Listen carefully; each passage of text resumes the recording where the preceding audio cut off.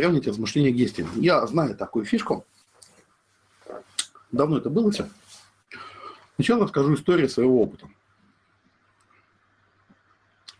А, в 2002 году мы создали семинар русской модели в кинособлазнении. На тот момент это был, ну, будем честными, лучший семинар по соблазнению женщин в СНГ. Вел его я, вел как мог. И после того, как он уже прошел, как его прошли люди, после того, как он стартовал,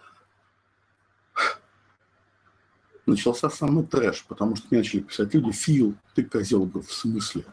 Ты сделал семинар, а я хотел его сделать, ты украл у меня идею. Ну, во-первых, пока ты думал, я сделал, а во-вторых, откуда я должен был знать, ты что-то хочешь сделать. То есть, смотрите, я знаю людей, которые хотят сделать идеал.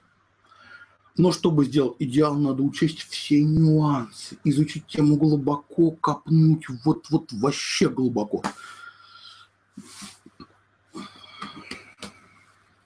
Я сторонник другого плана. Я сторонник того, что мы делаем сейчас. Как получается?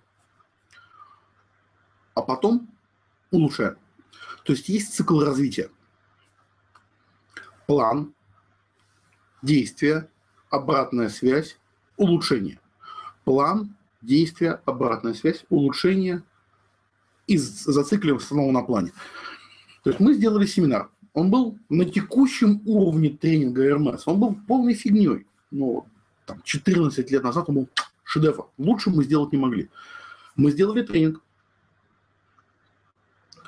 Мы посмотрели обратную связь. Мы изучили техники, мы поговорили с парнями, мы внесли изменения, сделали вторую версию РМС посмотрели, как получается, переписали, разбили там на другие куски, какие-то упражнения убрали, какие-то добавили, какие-то темы забыли, какие-то дополнили. План до как? Совершенно точно, Анатолий. То есть мы эту тему давно говорил. Она все классика, да. Классика бизнес-процессов, MBA мотива. Тогда я, правда, не знал, что это, что это на MBA изучают. Сделай, получи обратную связь, улучши. Сделай, получи обратную связь, улучши. Сделай, получи обратную связь, улучши. Один из лучших полководцев а, во время Второй мировой войны, Дуглас МакАртур, говорил, что хороший план сегодня лучше, чем идеальный план через месяц. Ну, я полностью сторонник. То есть, понимаете, я считаю, что нельзя изучить все возможности, нельзя учесть все вероятности. Это только в фильмах все красиво получается. Честно, вот сколько бизнесов я не вел, вот столько раз я сталкивался с фигней, которую нельзя было учесть. Тут гораздо важнее навык адаптировать свой мозг и э, меняться. То есть, по сути, это невидимая херня. Такое бывает. Ты сидишь, думаешь, херак, херня происходит, бац, два раза упал. Ты никак не мог это предусмотреть. Вот никак. Ну, то есть, ну как можно было учитывать, что вот, вот я делаю бизнес, а потом у тебя себестоимость продукции разрастает вдвое, у тебя продажа. Пфф, никак. Ну что мы можем с ним? Сидишь, чешешь мозг, там раздвигаешь там булки в голове, там копаешься, думаешь, что делать? Думаешь, о, надо у китайцев заказать свой там монобренд, то же самое, в три раза дешевле, как раз то и получится. То есть помните э, классика, да, после того, как вы научаетесь плавать, бассейн наливают воду. То есть весь процесс обучения происходит из чего? То есть тренер говорит тебе, что ты делаешь, потом ты делаешь, потом тренер дает тебе обратную связь, потом ты улучшаешься, тренер смотрит, как ты улучшаешься, дает тебе обратную связь. Ты делаешь, смотришь на результат, улучшаешься, тренер тебе дает обратную связь. Все. Это вечный процесс обучения. Если ты прерываешь этот цикл, если ты прерываешь этот цикл, ты прекращаешь развиваться. То есть обратная связь от своих действий – это и есть результат развития. То есть то, что обычные люди, опять же, не делают. Вот я знаю кучу прожектеров. Почему я, ко мне спрашивают, Фил, почему ты не любишь стартаперов? Говорю, ребят, я нормально к стартаперам отношусь. Я не люблю людей, которые много пиздец и нихуя не делают. Ну, ходят, собирают информацию, делают совещания, пафос, щеки, ну, MacBook кредитный, безусловно. На чем зарабатывать, непонятно. Вот вы будете смеяться. Вот ситуация прошлой недели, ну, там, месяц, да, если вы знаете, я уже, наверное, три раза за крайние три месяца написал объявление, что я ищу себе маркетолога-директолога.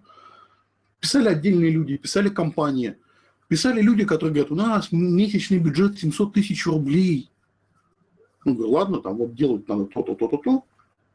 Они высылают тебе план и пропадают. Они даже не позвонили. Получили ты маркетинговый план, там, коммерческое предложение. Есть такое ощущение, что сейчас у этих маркетологов куча клиентов, которые платят по 700 штук в месяц. Просто вот как говна. Но они за нами не бегают. Я за ними точно бегать не буду. То есть, как бы, ну, ребят не заинтересованы в сотрудничестве. Все понятно. Я с ними работать больше не буду. Если маркетолог сам с тобой не выходит на связь, значит, я буду по телефону его задачу, типа, чувак, как дела, где результаты? Нахер мне надо? То есть, смотрите, сделай хоть какой-нибудь план, поставь себе дедлайн, там, скажем, у тебя есть неделя на разработку. Посоветуйся с толковыми людьми, э, которые в теме, спроси, вот я так сделал, там, нормально, нормально. Вернее, как, расскажу по шагам. Ты хочешь что-то сделать, прописываешь план действий, пум-пум-пум-пум, как знаешь смотришь по сторонам. Есть ли у меня знакомые, которые вот лучше меня знают, как это делать? Приходишь, говоришь, слушай, дружище, у меня есть вот такой-то, такой-то план. И посмотри на него со стороны, ну так вот чисто по-дружески. Там, с меня обед, там, с меня стейк, там, с меня все такое. То есть у нас э, с тренерами, коллегами абсолютно нормальная ситуация, когда кто-нибудь пишет тренер, Филович, вот глянь свежим взглядом на программу тренинга. Я тебе должен буду. Я говорю, да, вот смотри, слушай, мне вот это вот не нравится, это не нравится, вот, вот какие-то вопросы, что-то смущает. Так, в целом, блеск. Соответственно, когда я пишу тренинг, я посылаю его коллегам, коллеги смотрят, вот здесь, вот здесь, вот здесь, по критерии нам непонятно. Мы друг другу такими э, коучами со стороны работаем. Если вопросов нет, то говоришь, хорошо, пока я больше ни от кого не могу получить другой обратной связи, я пока не могу ничем улучшить, работаем. Поймите, нашел одного, двух, трех экспертов в этой области, спросил, внес изменения, все, пора работать. Больше у тебя вариантов нет. То есть поставьте себе, там, не знаю, там, месяц на проработку глобального плана, там, две недели на проработку плана. Две недели думаешь, как делать, потом делаешь. Потому что думать год, думать два, за это время собачка успеет слегка подрасти. Либо задачи поменяются, либо ситуация. Помните, нет проблемы в том, что вы двигаетесь медленно. То есть у меня так все хорошо в жизни только потому, что я раньше вас начал. Если будет делать, как и я, каждый день понемножечку что-нибудь свое, вы также через 15 лет будете вызывать ненависть у окружающих.